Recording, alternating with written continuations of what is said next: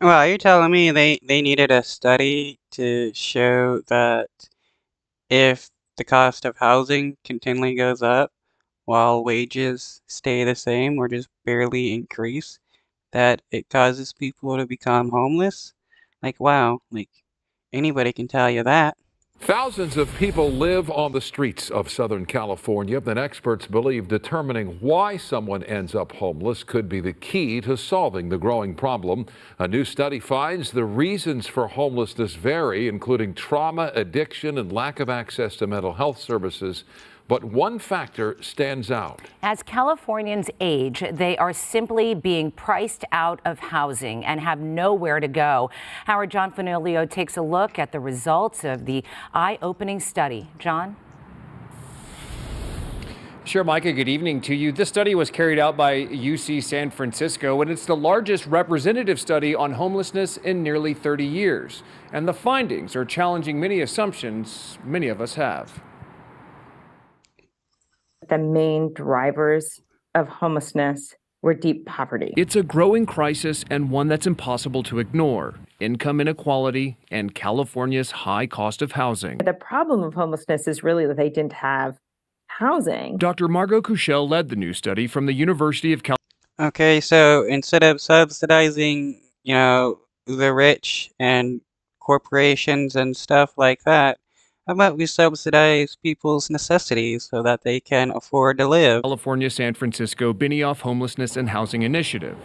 Her team's research was conducted from October 2021 until November 2022 and included nearly 3,200 people experiencing homelessness across the state, with in depth interviews with 365 of those surveyed. What they told us was once I get housed, then I can go back to work. But one person said being homeless is a full time job. Researchers found that more than 171,000 people experience homelessness daily across California, and that the state is home to 30% of the nation's homeless population and half the nation's unsheltered population, despite making up only 12% of the U.S. population.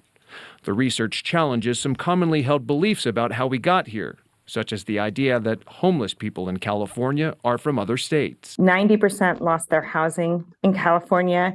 They had the, you know, they had been here for a long time. A lot of people, a lot of homeless people do go to California, uh, like during the wintertime because it's, you know, warm in California during the wintertime.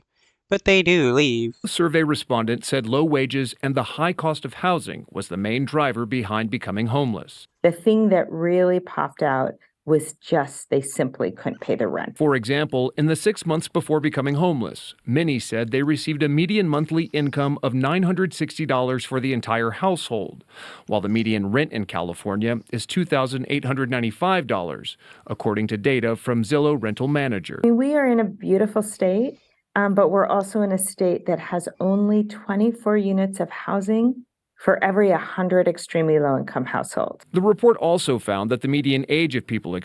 Okay, so instead of building like luxury apartment buildings, start building affordable housing units for people. Like, come on, the, the, the solutions are easy. Experiencing homelessness is 47, and that a disproportionate amount are Black, Native American, or Latino.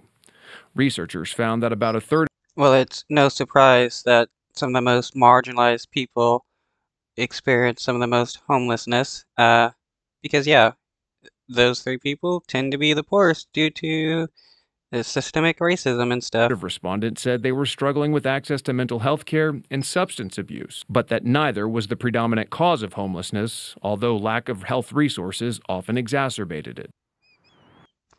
Yeah, a lot of people start using drugs and stuff when they become homeless because being homeless is really rough and a bit of booze or something definitely helps take the edge off.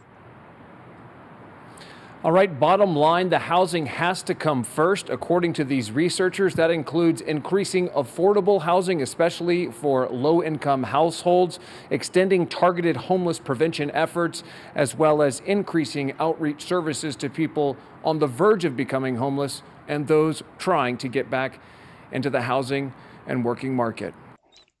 The, the, the main thing we need to do is um, ban absentee landlordism.